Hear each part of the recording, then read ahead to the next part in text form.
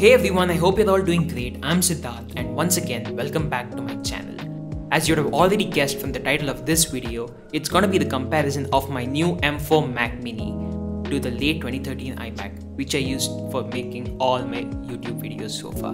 This video is a bit different from my conventional music related stuff or my saxophone covers you can say, since I'm gonna be comparing the performance of my M4 Mac Mini with my late 2013 iMac using the various benchmark tests such as Geekbench 6, Cinebench 2024, alongside doing some other weird tests like Logic Pro stress test, as well as an iMovie render of 4K footage for one minute. So let's get straight into the video.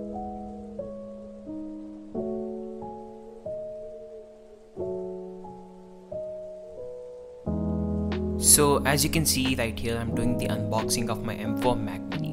This Mac Mini I ordered from Apple India store for the first time ever and it was a pre-order since I exactly ordered on the day of the release that is October 29th 2024. So now let's get straight into the unboxing. Apple claims this is the first carbon neutral Mac and it was shown there as I saw when I was peeling off the stickers in order to get the box out.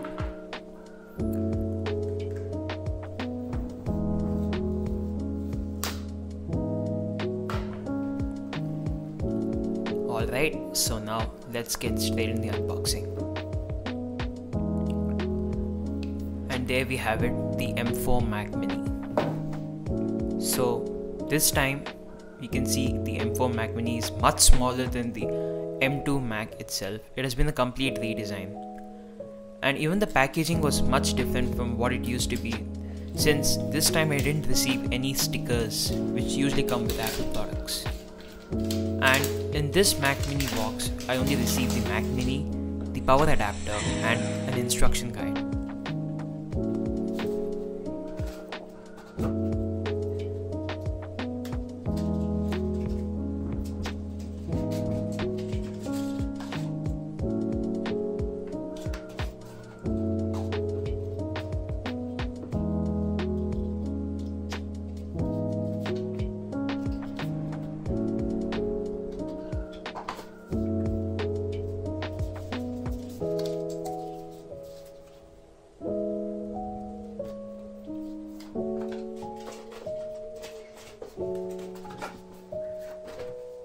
So now let's take a look at the M4 Mac Mini.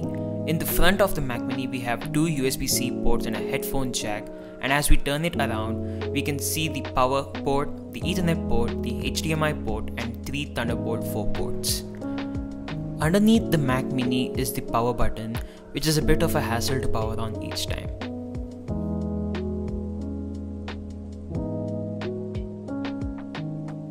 So now let's have a look at Geekbench 6 performance scores. Geekbench 6 measures the overall usage of the CPU and the GPU. For the CPU performance, we can see the Mac Mini has around 14,000 in multi-core and 3,000 in single-core performances. Now moving to the iMac, we see it takes much longer than the Mac Mini, around 7 minutes and 30 seconds. And the scores on iMac were shocking since it was only 1000 in single core and around 3000 in multi core.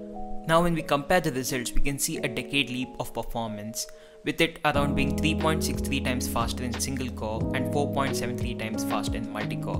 With the GPU scores, we can see there's around 13.57 times increment compared to the last decade.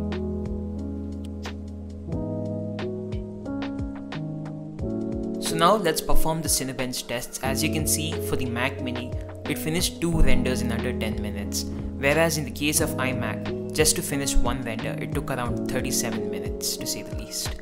This itself should indicate how much performance difference is there between these two devices.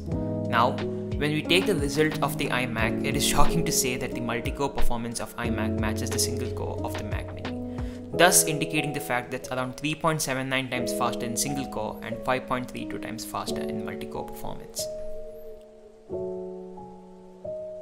So now we are doing the unofficial Logic Pro stress test where we are adding a MIDI track with loads of plugins to eat up the CPU. As you can see with the Mac Mini, it clocked around 135 MIDI tracks, whereas in the case of my old iMac, well, it could only do around 26 tracks.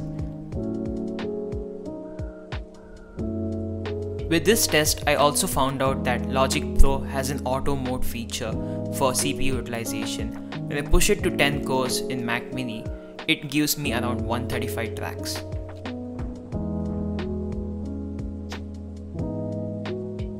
Now finally we come to the iMovie render test. In this I decided to render a 4K clip for around 1 minute.